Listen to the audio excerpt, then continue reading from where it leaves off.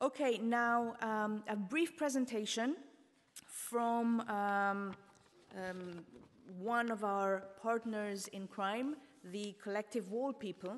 Um, Wall People are a collaborative art project. They're based in Barcelona, and they generally, uh, the way they work is they invite people to be part of site specific urban art installations.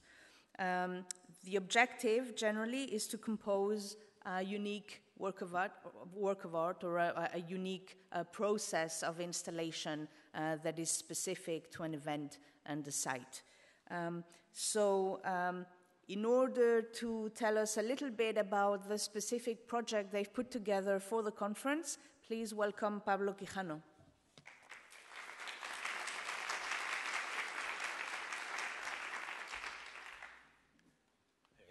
Hola, ¿qué tal? Soy Pablo de Well People. Gracias por invitarnos al Congreso. Y bueno, vamos a hacerlo, voy a hacerlo en dos etapas. Primero voy a presentar un poco qué es el proyecto, qué es lo que hacemos y cómo lo hacemos. Y después voy a explicarles una cosa que tenemos planeada para nosotros hoy. Bueno, ¿qué es World People? Nosotros somos un proyecto internacional de arte colaborativo que bueno, empezamos aquí en Barcelona y una de nuestras ideas siempre es crear obras callejeras, irrepetibles y colectivas.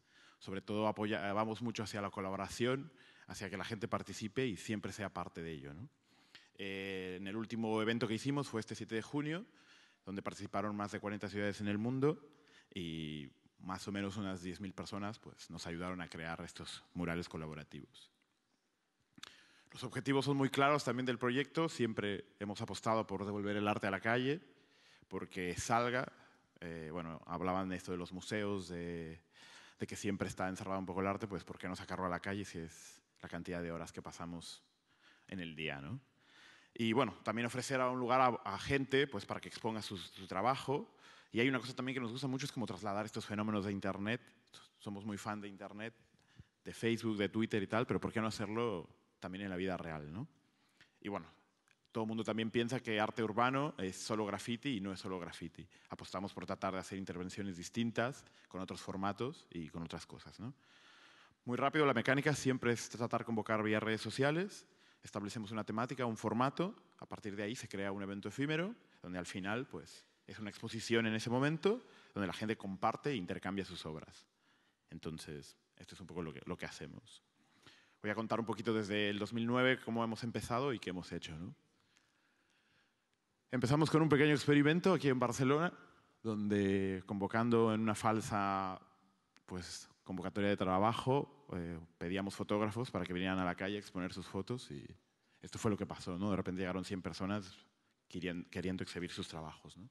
A partir de ahí creemos que el proyecto es muy bueno y puede, puede ir creciendo y empieza el auge también de las redes sociales y a partir de ahí pues establecimos al siguiente año un nombre al proyecto en ese año que se llamaba Un Flickr en la vida real, que era muy sencillo. La gente traía cualquier foto, la pegaba en la pared, la exhibía y al final la intercambiaba con el resto de personas.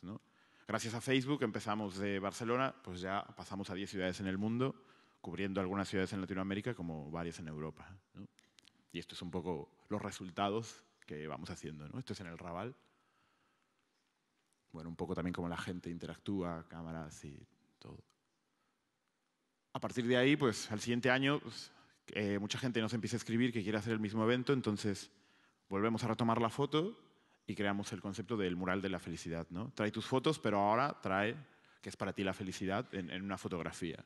Y establecimos igual crear un mural colaborativo donde la gente mostraba pues, sus diferentes formas de ver la felicidad en una fotografía y pasamos a 20 ciudades en el mundo. Después también en ese mismo año el, met el, el, Metro de Barcelona pues, nos conoce un poco y nos dice que, que, le gusta mucho un poco lo que hacemos y que por qué no proponíamos hacer algo distinto. ¿no? Entonces estuvimos buscando un espacio donde hacer algo chulo y encontramos, no sé si todo el mundo conoce ese pasillo infernal de Paseo de Gracia, pues hay un grupo en Facebook de más de 25.000 personas que lo odian. Entonces dijimos, pues qué mejor cambiarle la cara a este, a este pasillo. ¿no?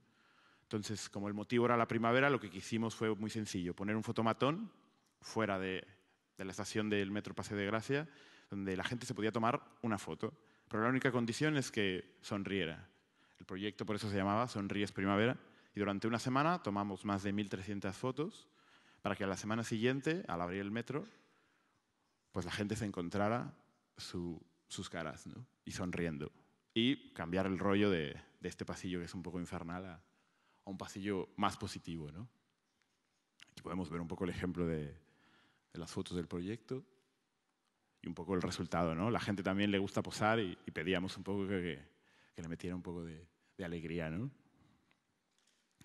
A partir de ahí, bueno, seguimos evolucionando como a nivel de proyecto y queríamos salir un poco de la fotografía y, y lo que hicimos fue, pues, ese año establecer y que se llamara Express Yourself. No solamente trae fotografía, sino trae tus obras de arte, ¿no? Cualquier cosa que se pueda enganchar en una pared es válida. Y este, bueno, es uno de los resultados de ellos. Gracias, también seguimos creciendo y pasamos de las 20 ciudades a 26 en ese año, ¿no? Esto, por ejemplo, es en León, que fue una, es una ciudad muy pequeña, pero que a su vez eh, creó un mural muy grande, ¿no? También como somos, apostamos mucho por la creatividad y por lo que nos gusta, pues hicimos un homenaje a Leche Homo.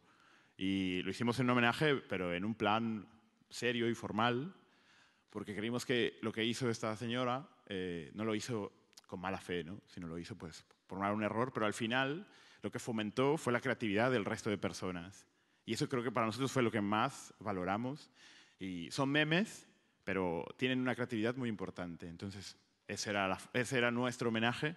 Entonces, en Barcelona pedimos que la gente trajera sus interpretaciones de Leche Homo y además, si ven por ahí al final, pusimos un pequeño libro donde la gente le daba una dedicatoria a Cecilia, apoyándola por esta obra.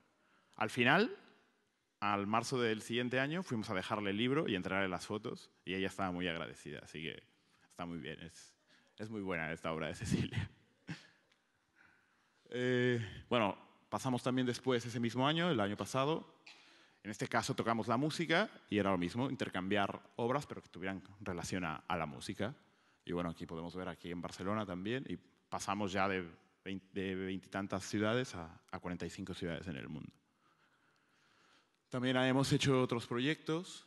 Eh, por ejemplo, nos gusta siempre que haya colaborativo. Hicimos un proyecto llamado La Escuela de la Calle, donde nos dieron un muro y dijeron hagan lo que quieran. ¿no? Entonces dijimos, bueno, porque no lo pintamos de tiza, un poco como Before I Die, pero aquí lo que queríamos es que la gente enseñara algo a los demás, ¿no?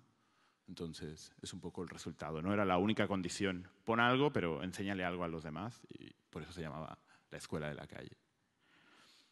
También para, estuvimos en el Festival Luz este de arte urbano. Y aquí lo que hicimos pues, fue, ¿por qué no hacer un tendedero urbano? ¿no? El proyecto se llamaba Clothesline. Pero aquí la idea era que toda esa ropa que teníamos guardada en el armario, que no nos ponemos más, pues intercambiarla. Pero no solamente ibas a intercambiar una prenda que no usabas más, sino ibas a intercambiar la historia de esa prenda. Entonces le dábamos a la gente una tarjeta para que pusiera en esa, en, esa misma tarjeta pues la historia de esa prenda y la colgara en el tendedero poniendo, pues no sé, no la uso más pues porque engordé, porque el color no se usa, pasó de moda y aquí podemos ver un poco toda la ropa que se colgó. La que sobró la donamos a una ONG. Y bueno, este fue el último evento que hicimos, que en este caso fue un homenaje a la naturaleza desde la ciudad, donde la gente traía sus obras relacionadas a, la naturaleza. ¿no? En este año, pues, hicimos ahora en 40 ciudades del, mundo la exposición. Pero bueno, como ven, nosotros somos como muy colaborativos y siempre queremos que la gente sea parte de ello y, y colabore. ¿no? Entonces, hemos considerado que, ¿por qué no creamos hoy algo juntos? Y eso es lo que, lo que queremos hacer. ¿no? Entonces, nuestra propuesta, hemos pensado también que la caligrafía es única y especial. Es como un reflejo de la persona y es única. No es como dicen, como la huella digital, pues la caligrafía de cada uno es lo mismo. Así que, como hemos pensado que esta caligrafía es única y especial, pues proponemos crear hoy aquí una tipografía colaborativa. ¿Cómo lo vamos a hacer? Pues muy sencillo. Si ven en las carpetas que les dieron a todos, tienen una hoja que se llama, y esto es lo que vamos a crear, que se llama Phone People. ¿vale? Entonces, en esa hoja que se les dio, van a poder crear ustedes su tipografía. Ahí lo tienen desde las mayúsculas, minúsculas, los números y los símbolos. Con un boli negro, no, no, ahora no es necesario, si quieren durante el congreso lo pueden ir haciendo poco a poco. Y van a, vamos a ir, pues van a ir rellenando su hoja con su tipografía y cuando lo acaben, en los breaks o cuando crean considerable, tenemos un punto afuera donde vamos a estar nosotros, donde van a entregar esa hoja, ¿vale? Donde van a poner su nombre completo y pues se la van a entregar a en el punto de World People. Y eso les va a dar derecho también a, si vieron ahí una, un vinilo ahí muy grande, donde van a poder escribir su nombre, ¿vale? Y este va a ser nuestro wall, pues con cada uno de, de sus nombres. Y al final, pues de todo esto, pues vamos a lanzar esa tipografía en septiembre, ¿vale? Vamos a lanzar Phone People en septiembre, donde va a ser una descarga gratuita para todos y para otra gente. Y al final, pues también queremos que se pongan ahí todos los nombres de todos los que hemos creado Phone People.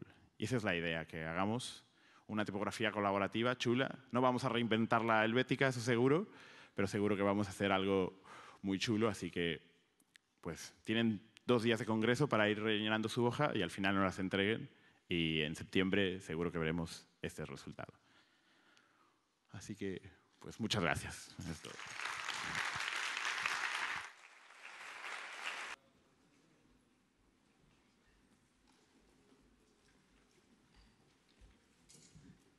a todos de nuevo. Eh, aquí estamos. Bueno, simplemente queríamos hablar un poquito de este experimento que hicimos con todos y que vieran un poco el proceso o el último proceso que, que vamos a hacer. ¿no? También recordarles que toda la gente que aún falta por, por darnos las hojas, pues nos las puede entregar ahora a la salida. ¿no? Es un poco, bueno, todos recibieron la hoja que, que les dimos a cada uno y mostrar un poco los ejemplos de cada uno, cómo han ido creando esto. Por ahí creo que no quedaba muy claro cómo íbamos a crear toda esta tipografía y lo que vamos a hacer es fusionar cada una de las caligrafías de todos los que hemos participado para crear una sola y que el resultado pues sea Font People, ¿no? Aquí podemos ver todos, toda la colaboración de varias personas y la idea es esa, es ir fusionando pues esto que hemos hecho para crear pues algo juntos, ¿no? Eh, también aquí está un poco la foto del resultado del mural, que todavía, hay mucha gente que falta por firmar, y donde podemos ver un poco que las caligrafías de cada uno son distintas, pero el objetivo, como hemos mencionado, es crear Font People. Aquí tenemos una pequeña animación que es un poco del proceso que queremos llegar a hacer. Cada una de las letras, estas ya son las de, que nos han entregado. Y bueno, llegar a un ejemplo como este tipo de letra. ¿no? no va a ser esta la final final, sino es ir haciendo el proceso con cada una de ellas hasta que obtengamos pues, la tipografía que estamos buscando. ¿no? Agradecer a todos la participación, agradecer también la oportunidad que me dio el Congreso de hacer este gran experimento con ustedes y recordarles también que pues, nos vemos en septiembre donde haremos el lanzamiento de la tipografía y donde espero todo el mundo la descargue y empiece a usarla y se distribuya pues libremente por todo el mundo online. Muchas gracias y eso sería todo.